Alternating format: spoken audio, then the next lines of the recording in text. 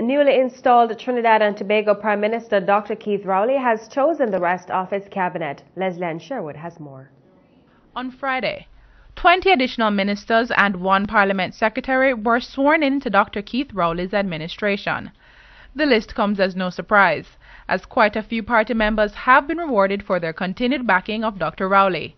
Diego Martin Northeast parliamentarian Colm Imbert has been given the prized post of Finance Minister. Member of Parliament for St. Joseph, Terrence Deyalsingh, has been placed in charge of the Health Ministry. Chairman of the People's National Movement, PNM, Senator Franklin Khan, has been named Minister of Rural Development and Local Government. One of the newer faces to the PNM, Avinash Singh, who was trounced by Jack Warner in the by-election for the Chaguanas West constituency in July 2013, has secured a place in the upper house. Singh is now a senator and a parliament secretary in the Ministry of Agriculture. Other notable additions include Fitzgerald Hinds, who was named Minister of Transport and Works, while former Chief Whip Marlene McDonald has been given the Ministry of Housing and Urban Development. Tobago West Member of Parliament Shamfa Cudjoe will serve as the country's new tourism minister. The 21 representatives join Edmund Dillon and Faris Al Rawi, who were sworn in on Wednesday as National Security Minister and Attorney General respectively by President Anthony Carmona.